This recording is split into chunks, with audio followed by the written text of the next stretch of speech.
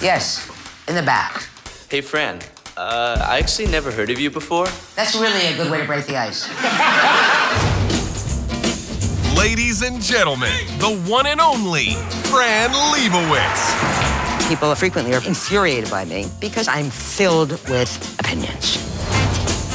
In New York, there are millions of people, and the only person looking where she's going is me. I should write a manifesto, the title of which would be Pretend It's a City.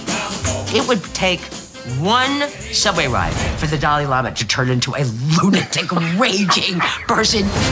I'm the only person who's lived in New York as long as I have who has never made a correct real estate decision. Do people buy books here? At this kiosk, no. Do you think it's fair to bring a book into Times Square? It's not fair to the books.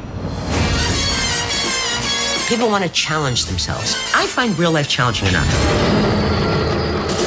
Does complaining change anything? Not so far. I mean, of course, I'm a young woman.